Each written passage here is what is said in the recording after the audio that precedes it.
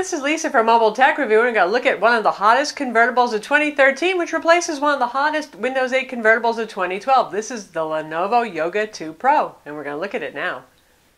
So it's finally here, the Lenovo Yoga 2 Pro, the second generation Yoga from Lenovo, Windows 8 convertible, full Windows 8 64-bit here. You can get it with Windows 8 Pro even if you want. But I think most people are happy with the standard edition, which is sort of like the old home premium edition.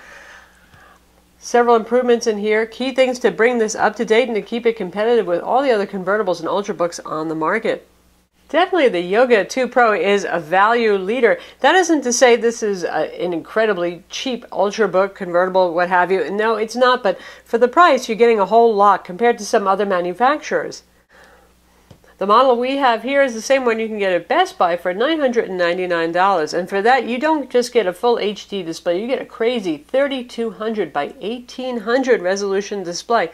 That's the same panel used on the more expensive Samsung ATIV Book 9 Plus.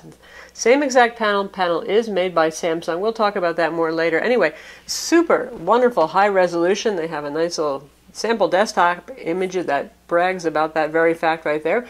Updated with Intel Haswell fourth generation Intel Core CPUs on here. You can get it with an i5, an i7, even an i3 on Lenovo's website. Those stores seem to be going with the i5 and the i7 options.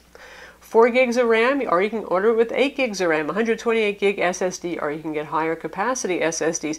Now, the the big value for people in the United States, if you want the i7 with 8 gigs of RAM and the 256 gig SSD, would currently be with Best Buy, who is the uh, launch retailer for this product other than Lenovo's own web- website, and they're selling that configuration for $1,200, which is certainly attractive right in terms of pricing. Again now if you go order that on lenovo's website you might have to pay more money even with their various coupons and discounts that only seem to cloud the issue of how much lenovo's products actually cost.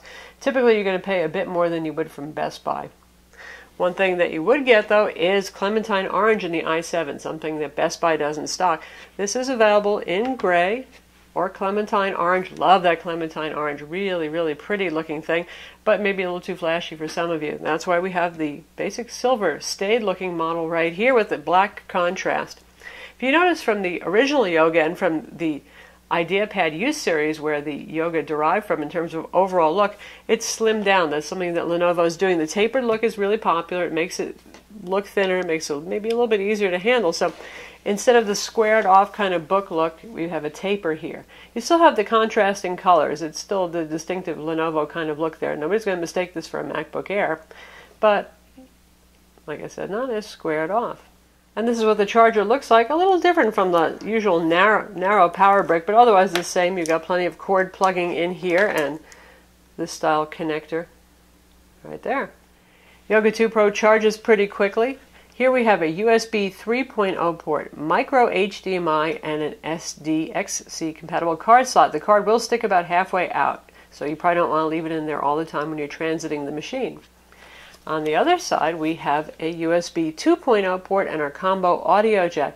So if you're wondering what you're getting with the more expensive models, and we'll have some smackdown, say with the Samsung ATIVbook 9 Plus with the same display, for example. Here you have a mix of some metal and some plastic finishes, and instead of getting two USB 3.0 ports, you get one 2.0 and one 3.0. Another important difference also is by default this comes with single band Wi-Fi only on the 2.4 gigahertz band.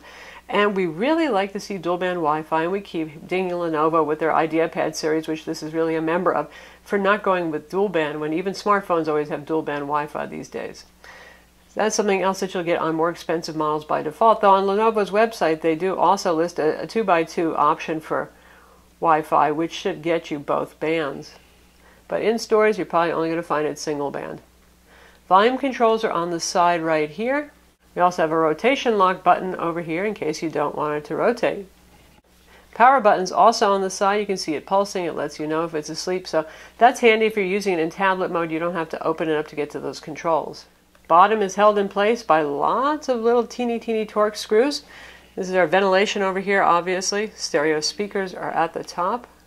Hence, with Dolby Audio, they sound pretty good. So if you take off these screws, and they're all visible, there's nothing hidden under rubber feet or anything like that, you can actually take the bottom off. RAM is not upgradable, it's soldered on. The SSD is a standard mSATA drive, so that's pretty easy to upgrade if you wish to do that afterwards.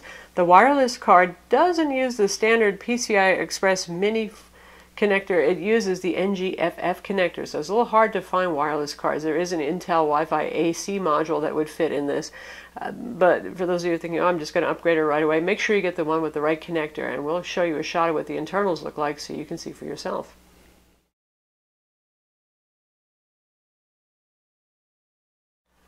From the last generation, this has also lost a little bit of weight, 3.06 pounds. So uh, very typical Ultrabook weight there, not a little on the heavy side. Makes it easier to hold and handle, and that's good in case you want to use this in tablet mode. Goodness knows people complain enough about a two pound tablet. Well, you got a three pound tablet here, but still, it is usable, and obviously you can rest it on the desk.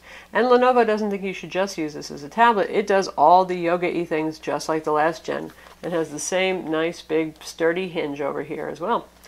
So you can use it in a variety of positions.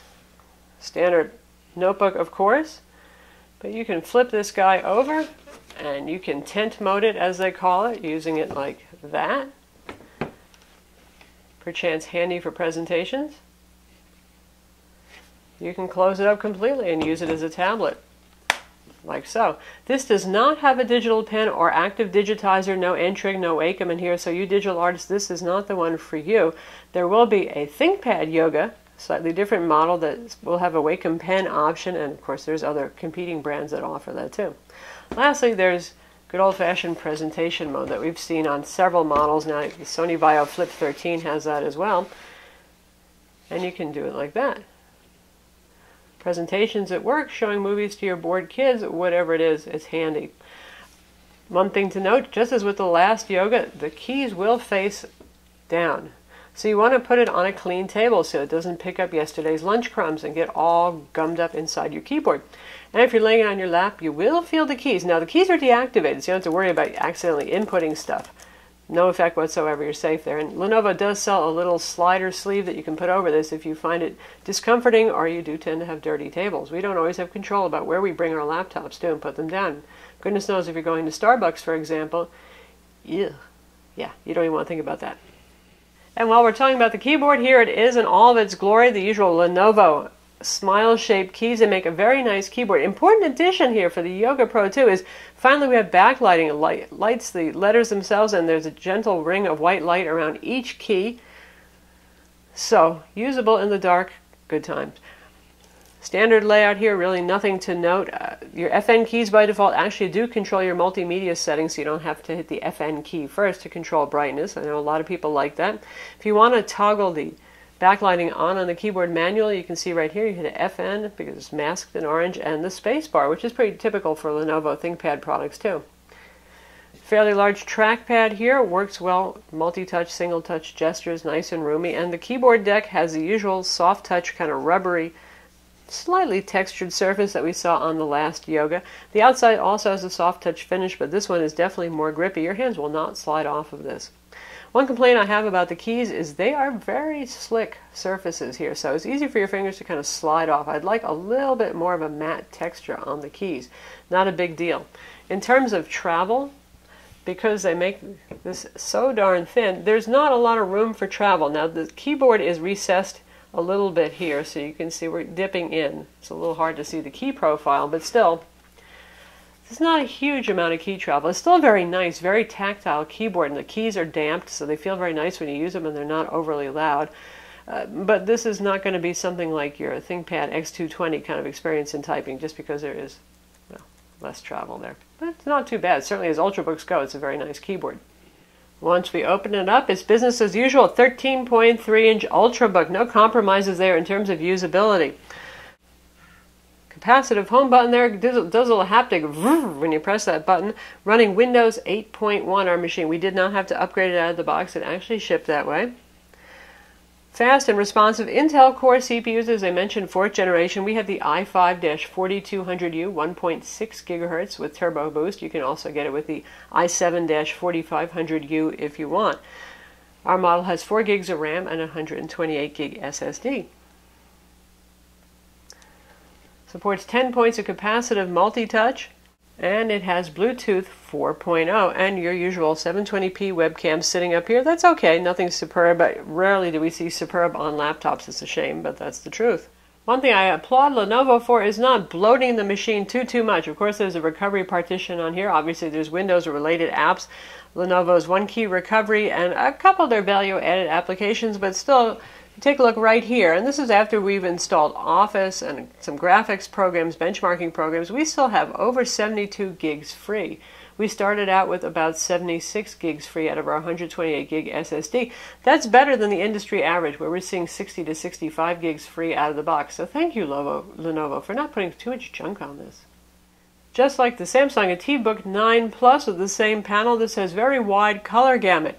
97% of sRGB. Excellent, excellent stuff right there. And for Adobe RGB, we're also doing pretty well too. Right here you can see we have 75%. So that puts it among the best displays, which is the ATIV Book 9 Plus and Sony Vaio Pro 13, Sony Vaio Duo 13, and the Sony Vaio Flip 13 all share these very high numbers. 350 nits of brightness as well, nice black levels on the display. It's an excellent display. Now, some of you have heard about the whole yellow issue or Yellowgate issue with the Yoga 2 Pro. When it came out, had a problem displaying yellows. They looked kind of mustardy rather than being vibrant pale yellow. Now, the Samsung ATIV Book 9 Plus with the same display has that problem when it's unplugged from power, but when you plug it in, your yellows turn all nice and natural. That wasn't the case with the Yoga 2 Pro. But Lenovo, well, I got to hand to them. They listen to customers, and the thing has only been out for a couple of weeks in limited availability, and they've already put out a BIOS update to update the firmware and an Energy Manager update that take care of the mustardy yellows and bring them in line with much more nice normal yellow. So we're going to look at a couple of distinctive yellow things so you can see for yourself. So the distinctive, somewhere between canary and lemon yellow Nokia Lumia 1020 is always a good test for displaying yellows. And as you can see, they don't look mustard, they don't look icky, they look yellow like they should. And now we'll go for SpongeBob SquarePants because a lot of you are familiar with Sponge what SpongeBob should look like. And here we have a whole lot of SpongeBob, and SpongeBob's looking pretty much like SpongeBob should look. He maybe could look a little bit more canary, but overall, nothing putrid and mustard like uh, the way this was before the firmware update that we applied. So, lovely. That update is available to everybody. It's on Lenovo's website. If you get one of these, go get it you'll have nicer yellows. Has not impacted battery life for us per se either. This runs for about six hours on a charge without any kind of draconian power management. So that means with brightness set to 60%, which is pretty darn bright given this is a 350 nit display, Wi-Fi on and active. So if you push the power management and a mix of productivity use, say you're using this in a classroom or at work where you're mostly using MS Office, something like that, you could probably get even closer to 7 if you're willing to set the display pretty dim and maybe use the energy manager and set it down to one of the most power frugal settings. You can see our Crystal DiskMark SSD speed scores here, pretty much typical of an mSATA SSD, not bad at all. Ours happens to be a Samsung manufactured SSD. And in terms of synthetic benchmarks on PC Mark 7, our Core i5 model scored 4737, which is pretty much where it should be in the playing field. wPrime computing pi at 22.96 seconds. Again, that's par for the course and where it should be in the field. This has dual channel RAM in it, so for those of you who are worrying about integrated graphics performance, because this has Intel HD 4400 integrated graphics, no dedicated graphics option on this, and generally speaking, not on any Ultrabook.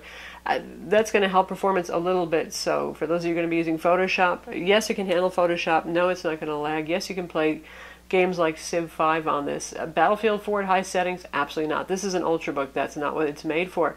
Uh, but World of Warcraft on low auto detect settings, yeah, it'll do that fine. Now, in terms of looks, this is a fine looking product. It's not flashy. I don't think it's really designed to incite consumer electronics lust in you. It's just not super duper exciting, but it's thin, it's light, it gets the job done. We'll compare it to some more expensive models so you can see what the difference looks like. Handily, we have our MacBook Air latest generation right here. All metal, cold to the touch this time of year, very slim. It's going to be fancier looking, but you know, you're paying more money for, for the looks too. About the same size. Just a difference in thickness. And now we have our also very cold metal Samsung ATIV Book 9 Plus running with the same display, also the same Haswell inside. Again, a more expensive machine. This is around twelve to thirteen hundred dollars with comparable specs, so you're, paying two or three hundred dollars more for the Samsung. More styling, the sculpted sides, the full metal. You get the idea. We can have a smackdown between these two if you guys are interested in that.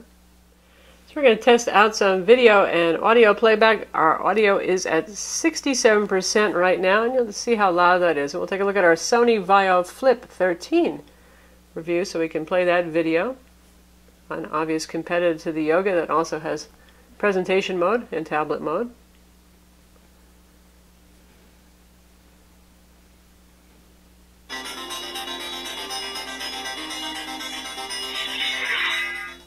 Full 1080p. This is Lisa from Mobile Tech Review, and we're going to look at one nice. audio.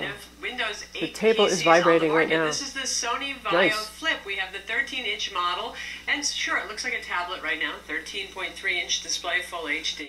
So obviously, very nice for multimedia too. Great set of speakers that Lenovo put on there. They do beat Sony when it comes to audio quality, I have to say, and it's right up there with the uh, T-Book 9 Plus almost. The T-Book 9 Plus is a little bit more bass, but still really nice audio experience. And to be a little bit more interesting, since we have our super high resolution display, we're going to play a Sony Bravia 4K test video so you can see what it looks like playing really high resolution stuff.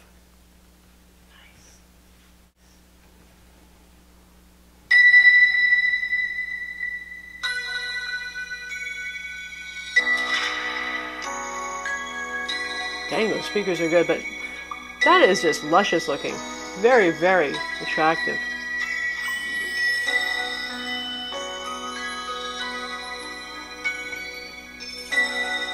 And obviously the CPU is up to handling 4K video playback. More importantly, how about text? Right now you can see our desktop and it's pretty easy to read stuff, isn't it? By default, the, the, the machine will launch with 3200 by 1800 desktop resolution and 200% scaling in Windows 8.1, which makes everything pretty readable and sort of like using a 1080p display. But I can tell you that all the little fonts and the labels here, they are sharper. You will notice the difference. I, I thought, you know, at first I thought 3200 by 1800, it's kind of crazy. It's all marketing. But once you get used to this and you start using it, and the same thing happened because I have an ATIV 9 Plus, when I go back to full HD 1920 by 1080 at 13 inches, everything looks like a little fuzzy. And that used to be like so bloody awesome to have a full HD display. So yes, if you you're worrying that oh I have bad eyes, maybe everything's going to be too tiny. Granted, every application is not DPI aware with Windows 8.1 scaling, so you may run into some that have TD menus. But overall, for anything that does support Windows scaling well, it's actually sharper text that you're going to get. And you, know, you can zoom more if you want. And of course, you can set this to run at 1920 by 1080 if you want as well, and with even more zoom on it to make things really big. But I find that this is quite readable, and I don't have awesome eyes anymore. As a tablet, it has fairly good viewing angles. It's a little bit hard to tell because obviously glare is a big factor. You can see the ceiling and everything else in there too, and that's just a problem with touchscreens. They generally are glossy. Uh, you're probably going to want to use it on the table. Like I said, it, it is nice to use as a tablet. It is fun, uh, even if you can't use anything other than a capacitive stylus with it. But three pounds is a little bit of weight in your hands, but that's a problem with all the three pound convertibles that are on the market. In terms of fan noise, there's just about none. You'll hear the fan kicking on quietly every once in a while. And we're real happy because IdeaPads used to have kind of over vigorous, slightly noisy fans. This does not. It, it has not been an annoyance. Certainly, it's much better than the Sony Vaio Flip 13, which is a real Hoover vacuum cleaner. Noisy, noisy, noisy, noisy. And while we don't recommend that you do this at home, it really just. It, it's just a statement to the versatility of this product, the number of ways that you can use it. As ever, the Yoga is the perfect machine for those of you who really need an Ultrabook or laptop first, but you don't want to be left out of the tablet rage and you like all the versatility of all the positions you can use this guy in. And beyond its versatility, and who knows in the end if you're even going to use all these modes, right? It's really exciting at first, but it, it's still going to be a darn solid Ultrabook. And for the money, it really is a top pick. Obviously, there there are machines out there with even more features: the dual band Wi-Fi, the metal casing, and that's why there's products for everybody. You can get the Sony Flip 13, which is a stunning, gorgeous, high class, wow, makes you want to lust for it kind of look. But for those of you who just want really good internals, a good solid value for your money, it's really hard to beat the Yoga 2 Pro. So that's the Lenovo Yoga 2 Pro. It yogas, it does everything. As you saw, all sorts of neat modes here tablet mode, tent mode, mirror mode when it hits the light, granted. But anyway, for, for the price, this has got to be one of the best Windows 8 convertibles you can get. If you're looking for something that can act as a full Ultrabook, but also have the versatility to be a tablet when you need it, do presentation modes and more, Yoga 2 Pro's it. I'm Lisa from Mobile Tech Review. Be sure to visit our website for the full written review with benchmarks and more, and hit that subscribe button.